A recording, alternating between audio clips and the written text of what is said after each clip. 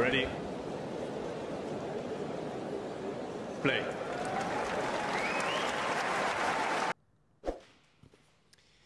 Cool. Uh, good result today. 7 6 uh, 6 3. Was it as easy as the scoreline would suggest?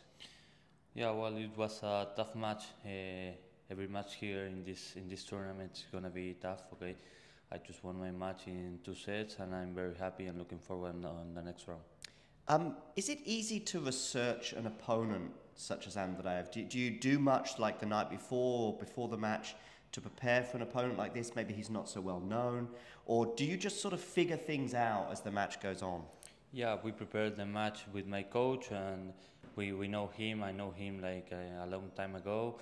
We didn't we didn't play never. I think it's the first time it was today, but yeah, I know him like a, a really a good time, and yeah, we prepared the match very well with my coach, and yeah, I'm very happy with the win. Tell us about your year and also about your career. I mean, you've still obviously got many, many years ahead of you. Career high of 148, I believe. Do you have goals for this year to, you know, keep on going? Yeah, the goal is always uh, improving uh, every every tournament, every week, every week with my with my team, practicing a lot. Uh, yeah, just play play the Grand Slams. Maybe I can play a main draw. Hopefully uh, next week in, in, French Open. Yeah, but uh, just uh, win win a challenger also is a, it's a goal, my first challenger. But just playing every every week and trying to, to enjoy a little bit also. Yeah. Okay. Uh, if you don't mind, we'd like to talk about your childhood and, and growing up, and of course your father. I remember your father very well. Um, how do you, like as a kid, was football an option for you? Yeah, it was an option. Like when I was like uh, nine or ten years old, I played football and, and tennis, both sports, but uh, in one moment I have to, to decide and I choose tennis because I love it and it's my, my passion my passion so I think uh, yeah now I'm, I'm, I'm playing tennis and I and I love it. What was what what made that decision? Was it because you felt as though you were better at one than, than the other or you enjoyed one or yeah honestly I don't know because I, I was a child so I, I, I didn't think ex exactly like the like the things I don't know how to say but I just made the decision because in that moment I like more much tennis than football. I also love football. I watch a lot, but in that moment I decide tennis, and it's and it's, it's what I'm doing.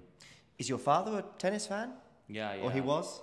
He like he like every sport, but yeah, when I when I start to play tennis and uh, and, and start to compete, yeah, he always uh, watch my match, and he's very very happy with me and playing tennis, of course. Cool.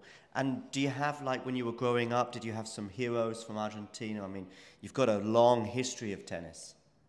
Yeah, in all the, the history, we, we, we have a lot of a lot of players.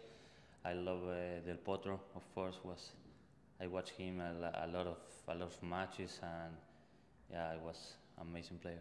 And of course, uh, recently we had Diego Schwartzman announcing uh, his retirement. I believe you played doubles with him. Uh, no, no, we play not not doubles, singles. Singles, okay. Yeah, Cordoba. You played each other, and it was you you won yeah, in yeah, Cordoba exactly.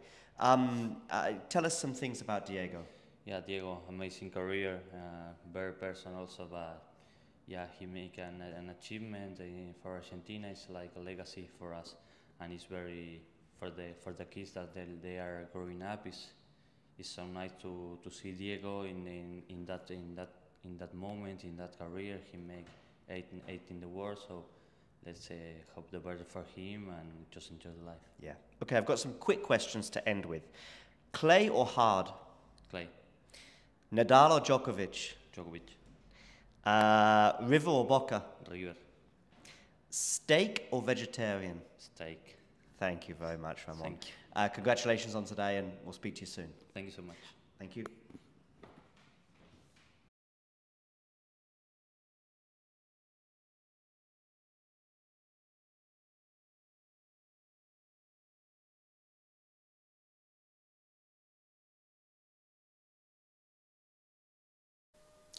If you enjoyed this video, make sure you hit that like button.